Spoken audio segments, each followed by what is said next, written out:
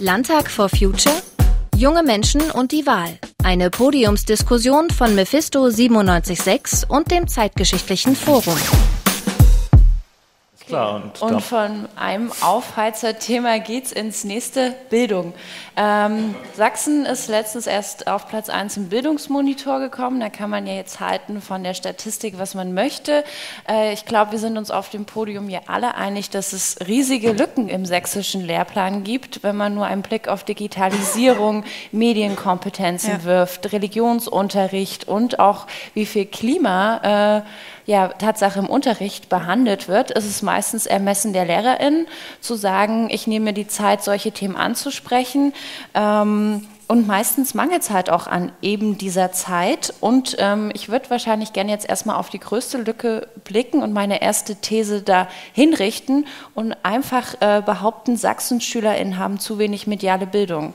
Ähm, Marco, äh, siehst du das ähnlich? Oder ihr von der Linken, ihr habt ja ein sehr schülerinnenfreundliches äh, Wahlprogramm, Hausaufgaben abschaffen und die mediale Kompetenz sichern. Äh, ist das auch eine Sache, ähm, die euch sehr am Herzen liegt oder setzt ihr da den Fokus woanders drauf?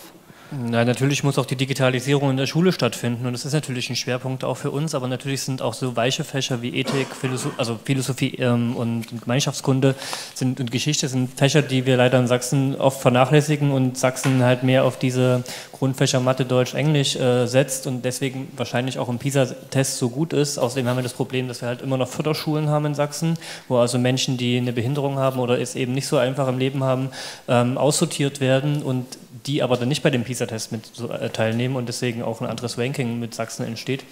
Ähm, das finden wir schon problematisch und Thema Digitalisierung hatte ich gerade schon angesprochen. Hm.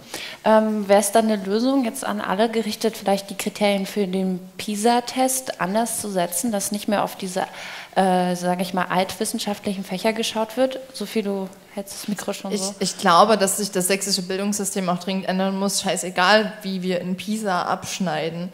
So, wir müssen äh, einerseits dazu hin, von diesem mehrgliedrigen also System wegzukommen.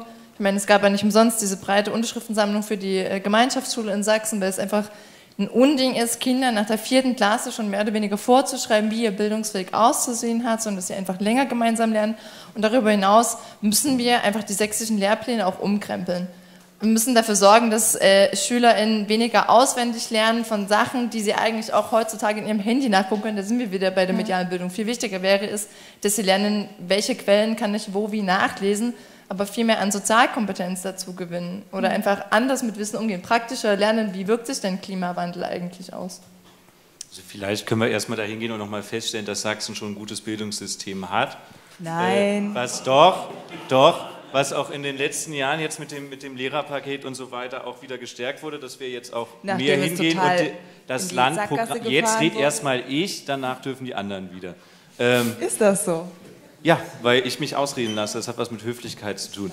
Ähm, dass, dass wir das jetzt weiter ausbauen. Wir haben jetzt auch von Landesseite Programme, die für mehr digitale Bildung in den Schulen sorgen sollen. Ich denke, es ist jetzt auch ähm, an der Zeit, dass, dass man da auch die, die, die Lehrerinnen und Lehrer da auch mehr schult, dann diese Medien auch einzusetzen, weil ich kenne das noch aus meiner eigenen Schulzeit, ist ja noch nicht so lange her, wenn man die Tafeln dann nur benutzt, äh, um dann Filme zu gucken, dann ist dem Ganzen, glaube ich, auch nicht so ganz Rechnung getragen. Ansonsten denke ich, mit, mit den Lehrplänen, das ist, da kann man sicher über einige Punkte dann nochmal reden, aber jetzt insgesamt das Bildungssystem hier schlecht zu reden, das geht dann meiner Meinung nach äh, und doch zu weit. Aber ihr wisst schon, dass ihr jahrelang verschlafen habt, neue Lehrer einzustellen, Schulen runtergekommen sind und so weiter und das jetzt erst kurz vorm Wahlkampf anfangen zu korrigieren, es ja? Es ist nicht kurz vorm Wahlkampf, da ist man seit, seit mindestens anderthalb Jahren ist man da dran. Dank dem Koalitionspartner äh, übrigens. Bitte so einmal Applaus gehört aber, dass die Schulen heruntergekommen, das ist eine kommunale Aufgabe. Das müsste man als ja, aber die Lehrer kommen vom Land. Also zum Thema Digitalisierung in der Schule ist, denke ich, ganz, ganz wichtig zu erwähnen, dass es nicht ausreicht, wenn man einfach in die Schulen jetzt so ein paar Tablets reinwirft und dann hat sich das schon.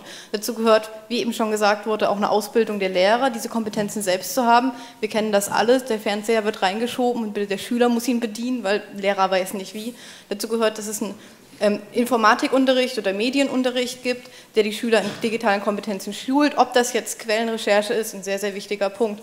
Oder in den anderen Kompetenzen ist es wichtig. Aber es gibt auch weitere Sachen, die mir im sächsischen Lehrplan stark fehlen. Das sind einfach Kompetenzen im Wirtschaftsbereich.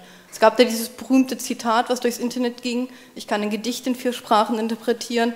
Weiß nicht, wie ich meine Steuererklärung schreibe. Ich glaube, da gibt es noch viel, viel mehr Sachen, wo Schülern einfach Kompetenz fehlt, die vielleicht wesentlich näher an der Lebenswirklichkeit dran ist. Das bedeutet nicht, dass andere Fächer wie Geschichte oder so unwichtiger sind. Gar nichts. Es ist sehr, sehr wichtig. Es gehört zu unserer Fundament unserer Bildung, unserer Gesellschaft. Deshalb muss das auch gelehrt werden.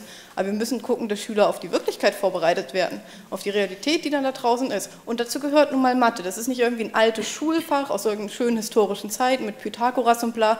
Das sind Kompetenzen, die brauchen Schüler, egal ob sie hinterher studieren, egal ob sie hinterher eine Ausbildung machen. Und es ist sehr wichtig. Und zum Punkt Gemeinschaftsschule. Ich bin äh, da würde ich kurz unterbrechen, das wäre nächste, der nächste Punkt okay, zum dann Diskutieren, später. dann können wir gleich über die Gemeinschaftsschule sprechen. Aber was ich hier raushöre, sind ja, dass sozusagen das Fachwissen den Kompetenzen gegenübersteht. Äh, was wäre da die perfekte Mischung?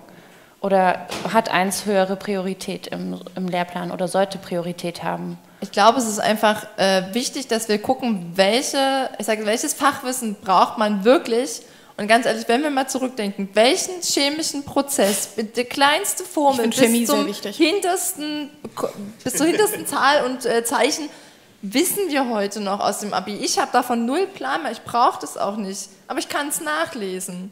Oder ich weiß, wo, wo ich es äh, in welchem Buch finde. Wir müssen einfach gucken, welche, und da, ja, Mathe ist so ein Ding, rechnen sollte man bis zu einem gewissen Grad können. Äh, auch äh, Rechtschreibung ist sinnvoll, auch Sprachen sind sehr sinnvoll. Aber was muss ich wirklich wissen und was muss ich an Kompetenzen eher dazulernen? So. Hm. Ich finde, dass man bestimmte Dinge vertiefen kann äh, oder auch junge Leute schon nochmal vertiefen können. Also natürlich kannst du jetzt sagen, du hast jetzt keinen Plan mehr von der chemischen Formel XY, die du damals im Abitur gehabt hast. Aber ich glaube, den Weg dahin, dass du es zumindest in der Zeit, wo du in der Schule warst, erlernen konntest und damit auch Lösungen finden konntest, dass es dieses Angebot gibt in der Schule, das finde ich schon wichtig. Und das sollte man auch den Kindern und Jugendlichen vermitteln. Klar, als, als Möglichkeit ja, genau. aber ich muss es nicht einfach auch die grundsätzlich, Aber doch die grundsätzlichen Dinge würde ich schon gerne verpflichtend aufdrücken. Das Vertiefte dann aber natürlich den Leuten, äh, den Kindern und Jugendlichen dann in, in, in Expertenkursen ähm, weiterführen. Ja? Dann das hat man auch mehr Zeit für die anderen Fächer. Ähm, ja. Und das geht vielleicht auch alles grundsätzlich besser mit beim gemeinsamen längeren Lernen, wo wir gleich zukommen. Genau, ähm, ich würde noch kurz ähm, eine Frage an Paula richten wollen.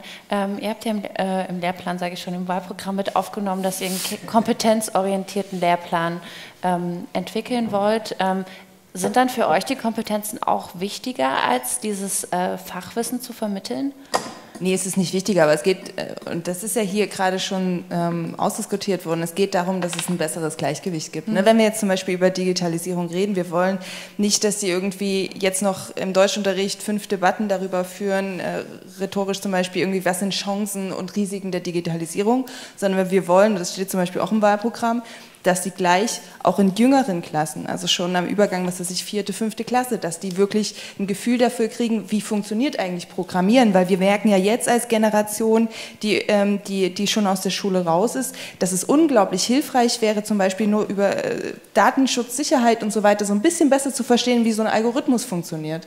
Ne? Und da wollen wir, dass die, dass die SchülerInnen fitter aus den sächsischen Schulen kommen, als sie das heute kommen. Und da ist es, das ist für uns eine ganz grundlegende Kompetenz und die muss man, glaube ich, stärker stärker gewichten. Das heißt nicht, dass wir es nicht wichtig finden, dass sie lernen, wie, wie Deutschland im 20. Jahrhundert mehrfach auf die Fresse gefallen ist. Das ist hm. genauso wichtig.